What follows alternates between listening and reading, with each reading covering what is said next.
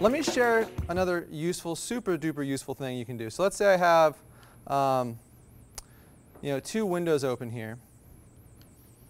So I've got my, my pictures and my file explorer. Maybe I have a website and I'm trying to do some research. Or maybe I have my OneNote and I have a website I want to put on the website, uh, into my OneNote.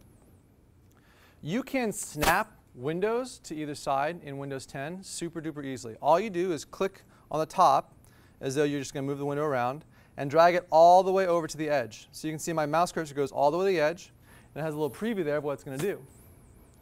When I release, it will actually show all of my other programs on the other side and ask me what I want to split screen with.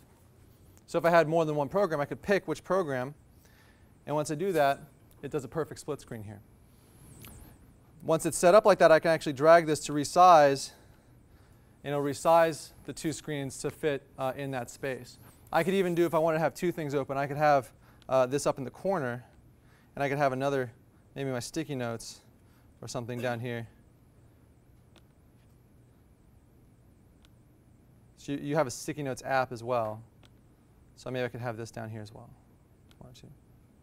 So uh, you can use frequent, save frequently used websites. If you're using the Edge browser, so if I'm going to go to uh, Microsoft Edge, I have been kind of hesitant about going into Microsoft Edge because, um, so you may, you may have seen this, and it's okay, this is like more than two minutes, but I'm to try to go fast. You see this little blue icon down here. People see this little blue E, and they think Internet Explorer. No. And that is the correct response. Internet Explorer is not good. You should not use it.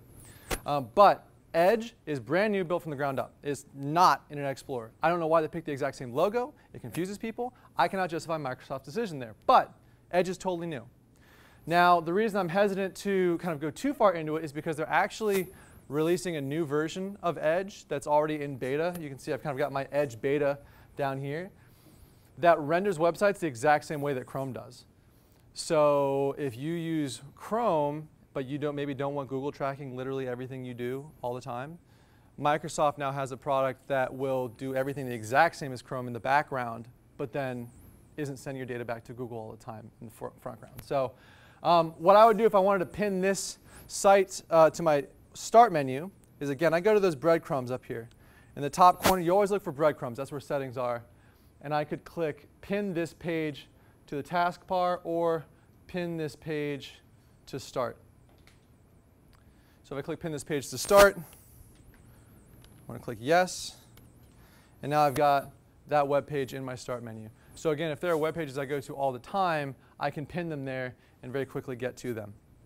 Uh, that does only work, as far as I know, in uh, Edge browser though. So I don't think you can do that with um, Chrome or Firefox.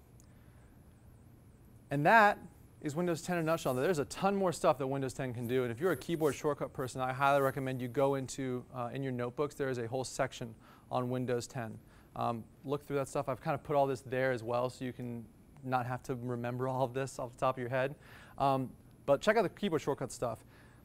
I save so much time out of my life using keyboard shortcuts. If you're that kind of person, it's, it's awesome.